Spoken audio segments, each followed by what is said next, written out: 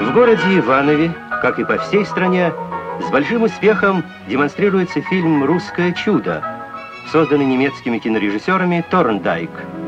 Этот фильм – страстный волнующий рассказ о прошлом и настоящем нашей страны.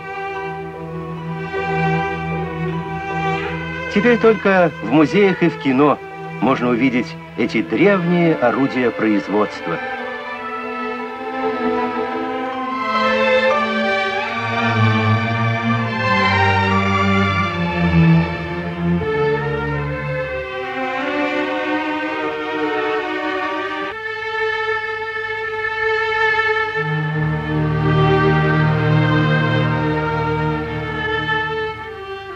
фильме показано, как народы нашей страны под руководством коммунистической партии, под руководством великого Ленина достигли всемирно-исторических успехов.